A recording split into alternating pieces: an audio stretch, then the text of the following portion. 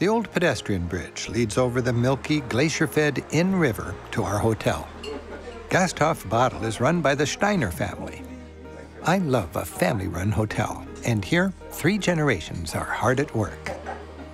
I've enjoyed Frau Steiner's warm welcome for a generation. She makes each guest feel right at home. Now her daughter Sonia runs the show with the same flair for hospitality. And clearly, granddaughter Laura is next in line.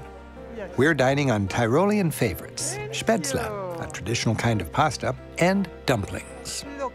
As is typical of the guest houses I like to recommend, Frau Steiner shares the local culture, and that includes both food and music.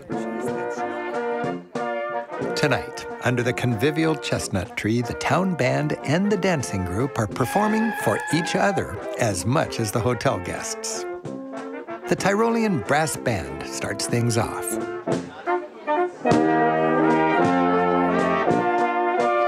The maiden with the schnapps makes sure to lubricate as necessary.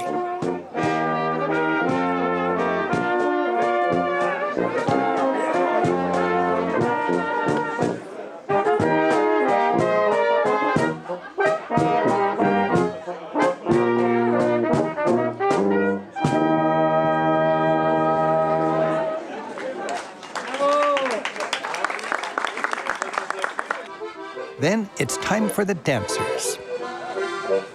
I love how folk dancing recalls the courting rituals of medieval societies. Dancing was an acceptable way to meet the girl or guy from the next farm back in an age when simply connecting was a challenge.